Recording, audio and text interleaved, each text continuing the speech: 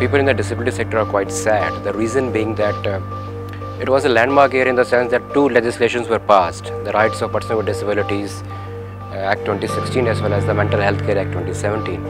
But uh, sadly, uh, sadly, uh, there is nothing much in the budgets to talk about these things. There is absolutely nothing, uh, no financial aid to support these two legislations. So how will they be fulfilled? It remains a big question. ये बहुत ही निराशाजनक budget है।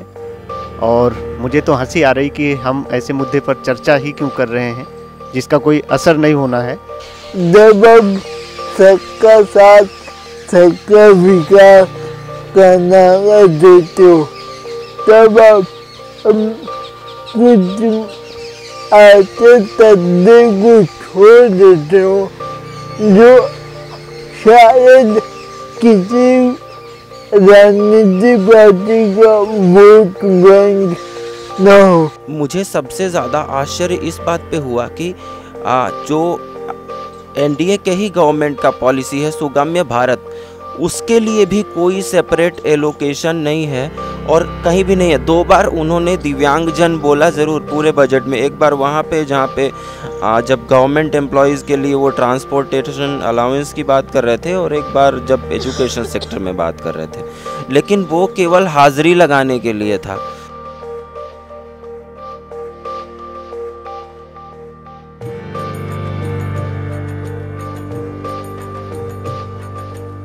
If you see the World Health Report on disability, they says that the population of people with disabilities, it is around 15% in India. However, as per our census, it is 2.2, a meager 2.2. And the basic reason for that is that uh, the, the, the lack of visibility of people with disabilities in the various schemes. All the schemes, the welfare schemes, they are actually based on uh, the numbers. And that's the problem that our numbers are faulty because the people in disability sector believe that we are not 2.2 percent. We are at least, you know, at least 10 percent.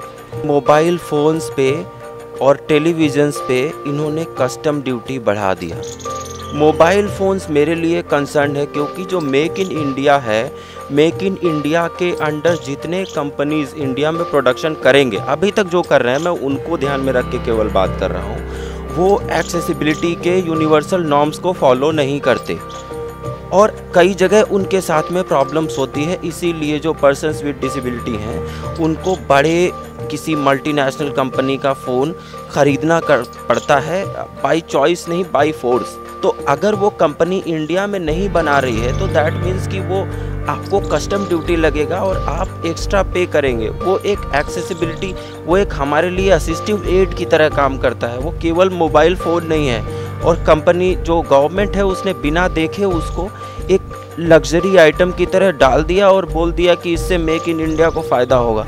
Last year we heard that there will be more five hundred escalators and lift this year again the number was increase there will be six hundred escalators more but what about the you know pass escalators Secondly, if we talk about people with disabilities, escalators are not a means of egress, not at all. So, people with disabilities, elderly citizens, pregnant female, all of them first of all uh, they need elevators and lifts escalators are not needed for people with disabilities and we recently saw what happened in uh, mumbai there was a mishap but still the railway minister said that we will need more of the escalators. More of the escalators, definitely these will be a disaster for people with disabilities. But I think this is also because there is a lack of representation in the government. Permanent, koi na koi person with disability person with blindness, person who pe- people who वो उनको अलग अलग government के sectors में होना या फिर मैं ये नहीं कह रही हूँ कि मंत्री होना मगर पॉलिसी मेकर्स की तरह होना या फिर जब पॉलिसी बन रही हो तब हर हर जगह एक एक आवाज़ होना बहुत ज़रूरी है। जब आप बजट एलोकेट नहीं करोगे तो हम कैसे ये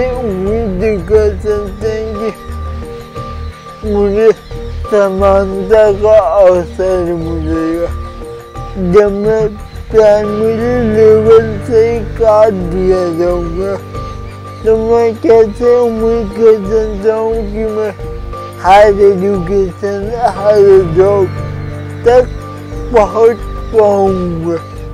बजट एक दिशाहीन बजट है। मैं शुरू से ही कह रहा हूँ कि ये दिशाहीन बजट है। ये सिर्फ़ कुछ लोगों को खुश करने के लिए, अपनी वाहवाही के लिए कि लोग जाने की सरकार बहुत मजबूती से सात परसेंट से आठ परसेंट की ओर हम बढ़ रहे हैं, हमारी विकास दर बहुत तेज़ है। इसी में सारा कैलकुलेशन है। बाकी जो एक वो पूरी अवधारणा जो थी कि भारत एक सोशल वेलफेयर स्टेट है, वो तो पूरी तरह से ख़त्म ही हो गया है। आज जो मार्केटिंग का दौर है। लेकिन हम इन सारी इश्यूज़ को भूल जाएँगे और जिनको सबसे ज़्यादा आवश्यकता है बार बार रिपीट कर रहे हैं कि जिनको सबसे ज़्यादा ज़रूरत है, हम उन तक पहुँच रहे हैं। मेरा एक ही सवाल है कि पीडब्ल्यूडी को शायद मुझे लगता है कि हर तबके में जो पुरुष हैं विमेन हैं, बच्चे हैं और दलित हैं, आदिवासी हैं, हर वर्ग में पीडब्ल्यूडी सेक्शन मौजूद है।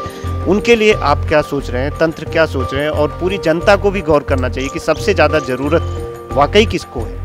अपने ही पॉलिसीज़ को मुझे लगता है गवर्नमेंट दो साल बाद भूल जाती है क्योंकि इतने नए पॉलिसीज़ होते हैं उनको याद रखने के लिए। तो पर्सनली मुझे बहुत निराशा हुई। मैं अच्छा लग, मुझे लग रहा था कि शायद कुछ होगा इसमें, लेकिन ऐसा कुछ भी मुझे नया नहीं मिला।